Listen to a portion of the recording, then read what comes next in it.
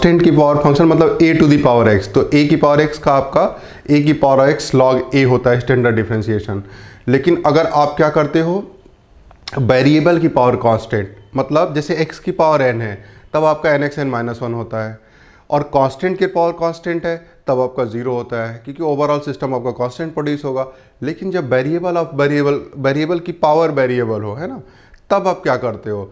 तब ना तो आप उसको ए की पावर एक्स का फॉर्मूला लगा सकते हो, ना तो आप एक्स की पावर एन का फॉर्मूला लगा सकते हो, ठीक है? तो हम करें क्या? हमारे पास सिर्फ़ एक ही रास्ता बचता है कि हम दोनों साइड में लॉग ले लेते हैं।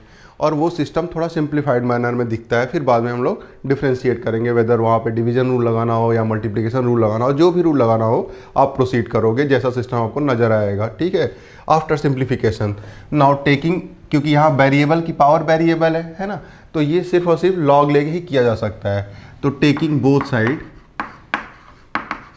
taking both side log और ये लॉग का मतलब होता है लॉग विद बेस ई तो that is log of cos of x की power y that is equals to log of cos of y की पावर एक्स हो गया। ये प्रॉपर्टी से पावर पीछे जाती है लॉग की प्रॉपर्टी से। तो that become log of cos x and that is equals to x times log of cos y ठीक है?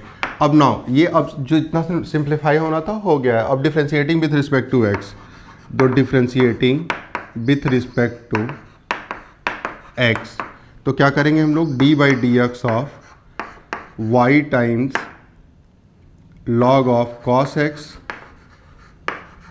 and that is equals to d by d x of x times log of cos y हो जाएगा। ठीक है? अब यहाँ पे अब देखिए, एक फ़ंक्शन y है, दूसरा फ़ंक्शन आपका log cos x है। तो अब क्या करेंगे? प्रोडक्ट रूल लगा देंगे, है ना? तो y d by d x of log of cos x and plus log of cos x d by d x of y हो गया, ठीक है?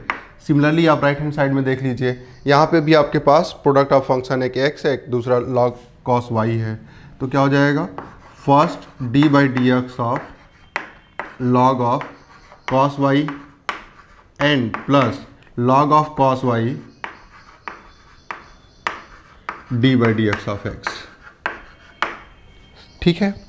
अब देखिए, यहाँ पे आपका जो लॉग है, ये x का फ़ंक्शन नहीं है।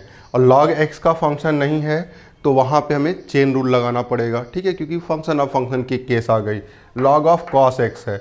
मतलब यहाँ पे जो सीक्वेंस होगा एक्स अगर कोई वैल्यू प्लेस करते हो तो कॉस ऑपरेट करेगा, जो वैल्यू आउटपुट होगी, उसे लॉग ऑपरेट करेगा। मतलब ये सीक्वेंस हो गया, ये आउटर फ़ंक्शन है लॉग ठीक है?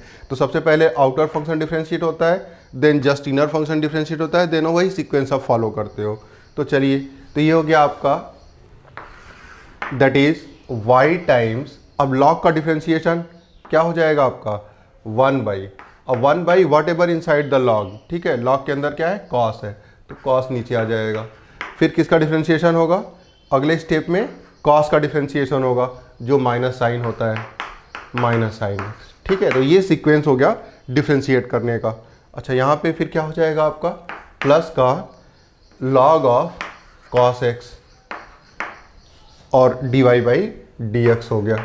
D y by d x ठीक है? यहाँ पे क्या हो जाएगा? देखिए, यहाँ पे और ध्यान दीजिए, ये operator d by d x है, लेकिन लॉग जो है, ये वाई का फ़ंक्शन कॉस ऑफ़ वाई का फ़ंक्शन है। तो यहाँ पे एडजस्ट करना पड़ेगा डी बाई डी वाई और फिर d y by d x करना पड़ेगा। तो हम लोग देख लेते हैं यहाँ पे x times d by d y of log of cos y और d y by d x हो गया। D y by d x और ये चीज़ d d by d x of x one हो जाएगा। तो प्लस ऑफ़ लॉग ऑफ़ आपका cos of y हो गया, ठीक है? तो यहाँ देख लीजिए साइन अपॉन कॉस टेन होता है और ये माइनस है। तो minus y tan of x हो गया, ठीक है? और उसके बाद फिर plus log of cos x d y by d x that is equals to x और यहाँ पे फिर चेन रूल लग जाएगा। लॉग डिफ्रेंशिएट होगा कॉस डिफ्रेंशिएट होगा, फिर वाई जैसे वहाँ पे किए थे हम, है ना? तो ये हो जाएगा आपका वन बाई कॉस वाई और फिर यहाँ हो जाएगा माइनस साइन वाई है ना? D y by d x and plus log of cos y आपका क्या हो गया? Minus y of tan x plus log of cos x that is equals to ये टेन हो जाएगा माइनस का x tan y d y by d x और plus का लॉग ऑफ़ कॉस वाई तो ये हम d y by d x partially यहाँ पे मौजूद है है ना?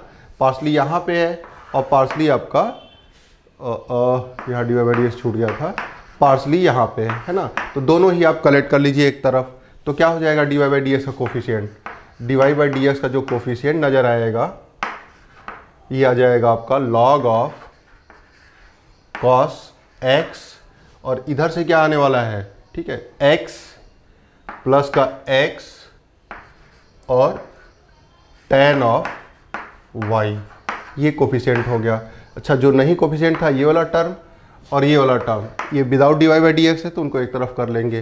That become log of cos y and plus y tan x फिर क्या करोगे नेक्स्ट स्टेप में?